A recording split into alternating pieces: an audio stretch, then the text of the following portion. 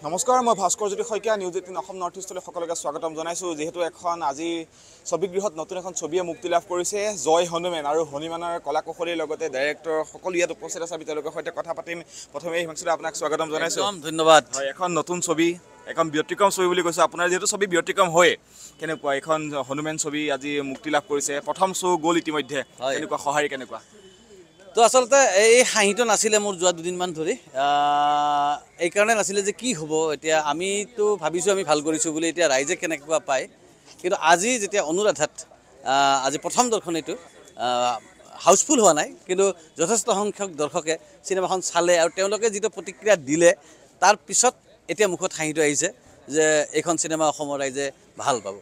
কেনেকুৱা ধৰণৰ? এতিয়া আপুনি যিহেতু চিনেমা প্ৰতিবাৰে ব্যতিক্ৰমীভাৱে বনায় এইবাৰ হনুমেনত কি কি ব্যতিক্ৰম দেখিব এইবাৰ ৰাইজে? আচলতে এই কথাটো আৰু মই এতিয়া আৰু ক'ব নিবিচাৰোঁ আচলতে মানুহে আহক চাওক। কিয়নো ইমান দিনেতো কৈছোঁ যে চিনেমাখন এনেকুৱা বনাইছোঁ চিনেমাখন এনেকুৱা বস্তু আছে তেনেকুৱা বস্তু আছে। কিন্তু এতিয়া আৰু সেইটো কোৱাত সময় পাৰ হৈ গ'ল। মই ভাবোঁ যে এতিয়া চিনেমা হলত চিনেমাখন আছে। সময় উলিয়াই আপোনালোকে চাওক। আৰু নিজে তাৰ উত্তৰটো চাগে বিচাৰি পাব। ক'ত ক'ত এইবাৰ চিনেমা যদিও অসমীয়া চিনেমা বাহিৰৰ আপুনি যদি হয়তো মুক্তি কৰাৰ সিদ্ধান্ত লৈছে মুক্তি হৈছে তাতো। অসমৰ সকলো ঠাইতে য'ত চিনেমা হল আছে সকলো ঠাইতে মুক্তি পাইছে। তাৰ উপৰি হায়দৰাবাদ বেংগলোৰ চেন্নাই দেলহি নয়ডা এনেকৈ ভাৰতবৰ্ষৰ বিভিন্ন প্ৰান্তত এই চিনেমাখন আজিৰ পৰাই মুকলি হৈ গৈছে। আৰু এটা কথা সুধিম যিটো অসমীয়া চিনেমা বুলি ক'লে শ্লটৰ কথা আহি পৰে। বিভিন্ন অসমীয়া চিনেমাক কিছু কিছু ঠাইত শ্লট নিদিয়াৰ কথা আহে। হনুমানে কেনেকুৱা ধৰণে শ্লট লাভ কৰিছে এবাৰ ৰাইজে কেনেদৰে এবাৰ ধুনীয়া খুব ধুনীয়া এই মুহূৰ্তত আমি হনুমান চিনেমাখনে যথেষ্ট আমি শ্ব' লাভ কৰিছোঁ। এতিয়া চাওঁ দৰ্শকৰ সঁহাৰিৰ ওপৰত বাকীখিনি কথা নিৰ্ভৰ কৰিব। ঠিক আছে ধন্যবাদ জ্ঞাপন কৰিছোঁ আপোনাক। এয়া হনুমানৰ যি মাস্কৰ পিছফালে থকা ব্যক্তিজনক এনেদৰেই আপোনালোকে দেখিবলৈ সক্ষম হৈছে। এয়া হনুমেন আৰু হনুমান নহয় আচলতে হনুমেন।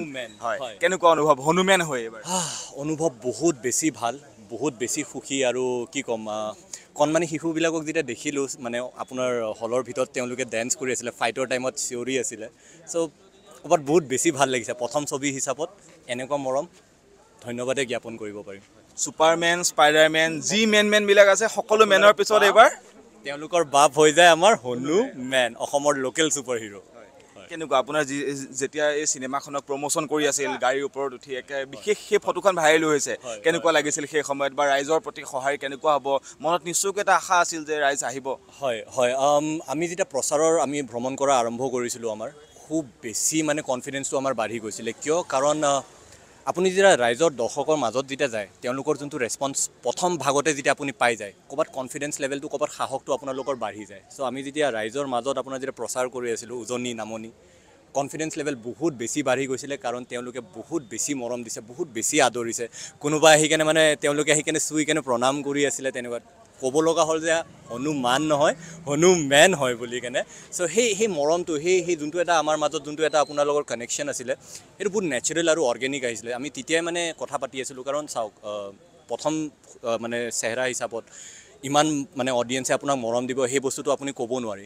কিন্তু যেতিয়া আমি এনেকুৱা ধৰণৰ মৰম তাতে পাই আছিলোঁ তো আমাৰ সাহস ক'ৰবাত বাঢ়ি গৈ আছিলে আৰু খুব বেছি আমি কনফিডেণ্ট আছিলোঁ যে অঁ ৰাইজে আমাক মৰমত আদৰিব চাগে। বাকী আজি আমি দেখিলোৱে অলপ চলপ যে প্ৰথম শ্ব'তে ইমানখিনি মৰম পাইছোঁ বহুত বেছি ভাল লাগে কেনেকুৱা আশা? পৰৱৰ্তী সময়ক লৈ কেনেকুৱা আশা কৰে এইবাৰ?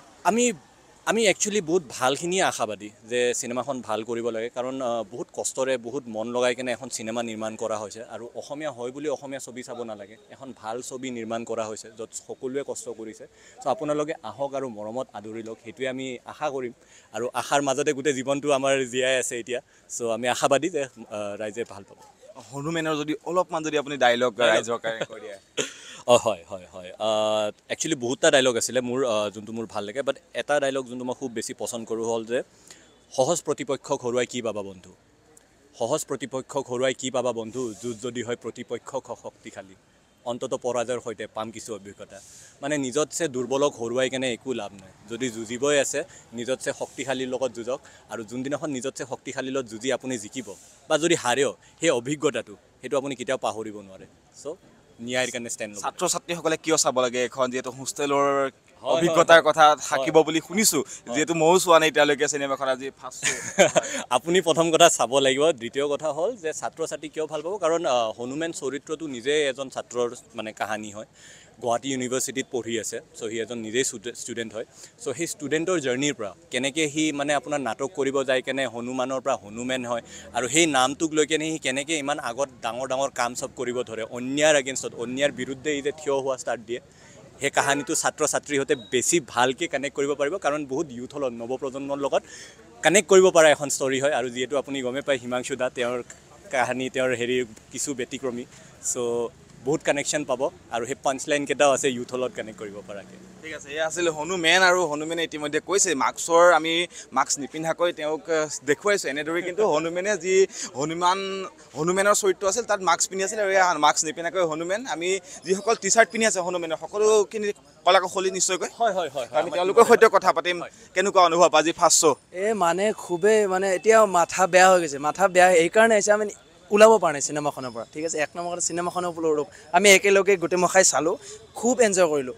আমি আফটাৰ মানে ৰিলিজ ফাৰ্ষ্ট ফাৰ্ষ্ট ডে চালোঁ। তো আপোনালোকেও চাওক বহুত ভাল চিনেমা। বাকী দাদাহঁতে ক'ব কেনেকুৱা হৈছে? দাদা কি ক'ব বিচাৰিব? কেনেকুৱা অনুভৱ?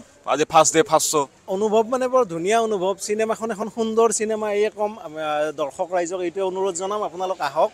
ছবিগৃহত অসমৰ প্ৰায়কেইটা ছবিগৃহতে চিনেমাখন মুক্তি পাইছে আজি। আপোনালোক আহক আহি চাওক আৰু আমাক জনাওক কেনেকুৱা পালে যাতে আমি আকৌ উৎসাহ পাই যাওঁ ভাল ভাল চিনেমা আপোনালোকক উপহাৰ দিবলৈ। এইখিনিয়ে আৰু ধন্যবাদ। আপুনি কি ক'ব দাদা? খুবেই ভাল লাগিল। আজি একেলগে আমি গুৰুৰে চালোঁ। আৰু মই এইটোৱে ৰিকুৱেষ্ট কৰিম অসমবাসী আহক আৰু আমাৰ চিনেমাখন চাওক। জয় হনুমেন। আৰু ইফালে আছে আমাৰ। হয়। কি ক'বা? খুব ভাল লাগিল। আমি ফাৰ্ষ্ট ডে ফাৰ্ষ্টত গোটেই টিমটো প্ৰায় যিখিনি পৰা যায় উপস্থিত আছিলোঁ। গোটেই ৰাইজে বহুত সঁহাৰি দিছে আৰু ভবাতকৈ বহুত বেছি মানুহ আহিছে যিহেতু ৱৰ্কিং ডে হয় আৰু ইমান ৰাতিপুৱা কোনে চিনেমা চাব আহে। তথাপি আমি বহুত মানুহ পালোঁ বিৰাট ভাল লাগিছে। আকৌ আপোনালোকেও চাব আগলৈ। আৰু যিসকলে চালে প্লিজ ৰিভিউ এটা দি দিব কেনে পালে অনেষ্ট ৰিভিউ থেংক ইউ ঠিক আছে এয়া আছিল হনুমেনৰ কলা কৌশলীসকল আৰু ইতিমধ্যে আমি হিমাংশু দাৰ সৈতে কথা পাতিছোঁ যে তেওঁ ইতিমধ্যে কৈছে যিহেতু তেওঁ ব্যতিক্ৰমী চিত্ৰসমূহ বা ছবিসমূহ নিৰ্মাণ কৰে গৰুৰ পৰা আৰম্ভ কৰি সকলো বিভিন্ন ধৰণৰ ব্যতিক্ৰমী চিত্ৰসমূহ তেওঁ যিহেতু নিৰ্মাণ কৰে আৰু এইবাৰ হনুমেন লৈ আহিছে দৰ্শকৰ বাবে। জয় হনুমেন আচলতে এই হনুমেন চৰিত্ৰটি কেনেদৰে তেওঁ উপস্থাপন কৰিছে বা হনুমেনত কি কি আছে তেওঁলোকে চাবলৈ সেয়া চাবলৈ হয়তো আপুনি আহিব লাগিব চিত্ৰগৃহলৈ ছবিগৃহলৈ। যিহেতু আজিৰ পৰা মুক্তি লাভ কৰিছে হিমাংশু প্ৰসাদ দাসৰ পৰিচালিত এই জয় হনুমেনে। আৰু আমিও আশা কৰিছোঁ যে হনুমেনে এক সুদীৰ্ঘতা লাভ কৰক ৰাইজৰ যি মৰম লাভ কৰক এই হনুমেনে আৰু এনেদৰেই আগবাঢ়ি যাওক অসমীয়া ছবি জগত। আপুনি বিচৰা বাতৰি পাব কেৱল নিউজ এইটিন এপত।